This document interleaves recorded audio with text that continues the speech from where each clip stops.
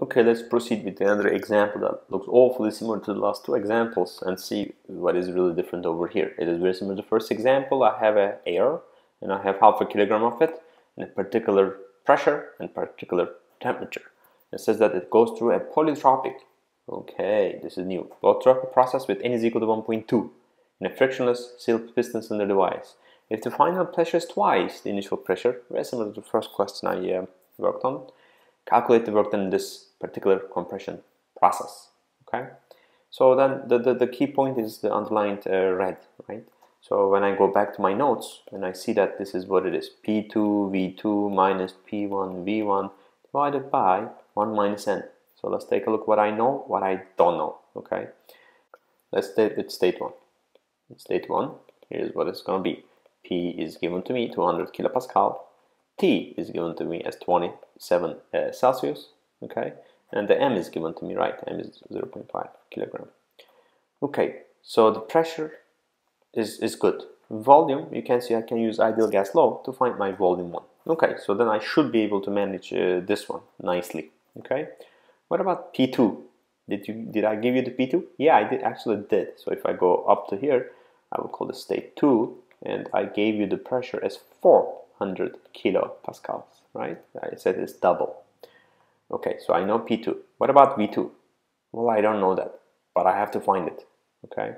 So that is my thought process over here. So basically, um, you know, uh, the lot volumes are the ones that is a little bit of a deal breaker in this particular question, okay?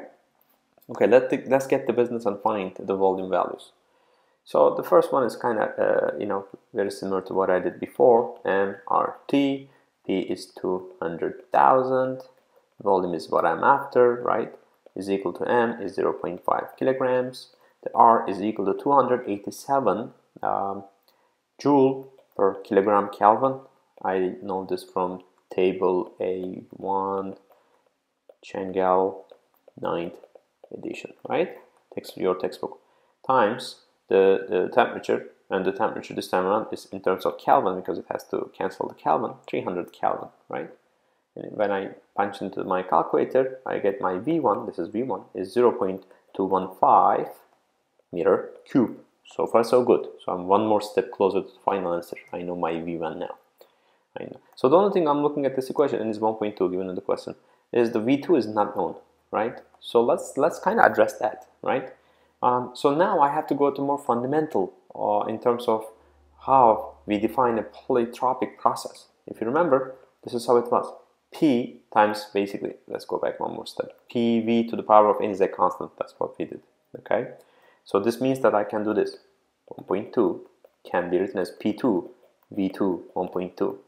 Aha, uh -huh. this is the way that I'm gonna find it, okay? Because I know P1, I know V1, I know P2. The only unknown in this particular equation is this V2 okay so then I don't know I mean, how you want to do it there's multiple ways but you know I'll do usually this way. P1 divided by p2 will be v2 divided by v1 to the power of 1.2 right? Uh, common parentheses. And from here you can see v2 will be p1 by p2 to the power of 1 by 1.2 right? Simple math. Times the volume 1 so I know my p1 I know my p2 Actually, this ratio is 0.5, right? Because it says the pressure is doubled. P2 is 2 P1. So you get 0.5 over here, and this V1 is right over here. So you, when you plug this into your calculator, you got your V2 as 0.12 meter cube. Actually, the rest is smooth sailing from here, right? So I simply know everything that I need to. So let's just write it. W will be equal to, let's write one more time just for the sake. P2, P1, V1, by 1 minus n. This is 400,000 times v2 is 0.12 right? Minus 200,000 times v1 is 0.215 divided by right 1 minus 1.2 okay? And if I you know again punch this into the calculator I get myself minus 25,000 literally joules or minus 25 kilojoules. So this is the how much of uh, energy I have to put into this particular process to create this polytropic compression. Okay, so you know I solved three questions so make sure you understand all these three these are the three cases that you you may be encountered okay that's pretty much what I have to say have a good day